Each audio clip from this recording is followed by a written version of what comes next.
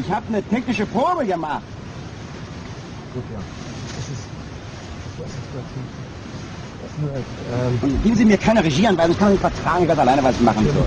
ich, aber wir müssen... Ja, wann technisch, ich aber nicht sagen, wie ich es machen soll. Das mache ich als Natürlich. alleine. Nein, nicht ganz. Doch, vollkommen allein. Oder Sie stellen sich hin für mich und machen es.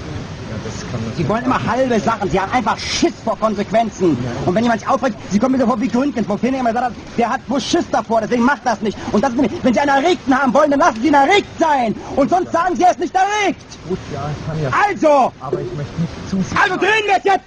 Ja, ich möchte nur nicht... Los, machen Sie die Kamera und drehen den Scheiß Die Kamera runter. dreht jetzt nicht.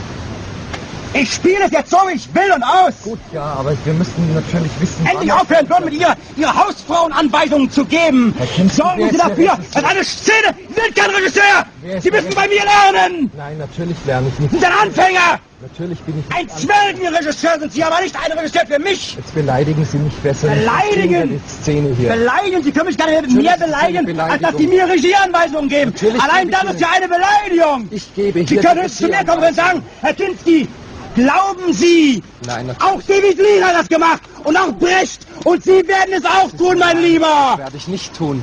Das werden wir sehen. Das werde ich nicht tun, Herr das werden Kinski. wir ja sehen. Was Kind, was Brecht und David Schnauze! gemacht haben, ist mir wurscht.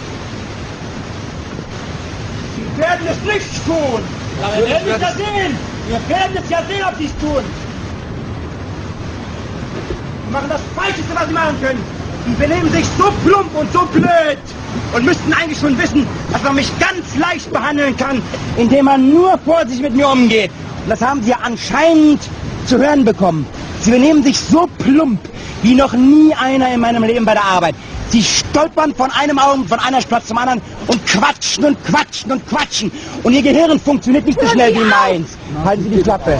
Denn. Sie haben hier keine Funktion im Augenblick. Nein. Das ist meine Na, Alter, das ist was anderes, das ist privat. Wir unterhalten uns doch über den Film. Wir unterhalten uns doch über den Film, oder? Sie unterhalten sich darüber, ob mein Mann ein Regisseur ist oder nicht. Das kann ich äußern, wie ich will.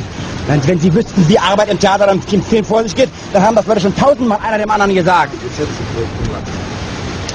Geht ja nicht um Privatbeleidigung.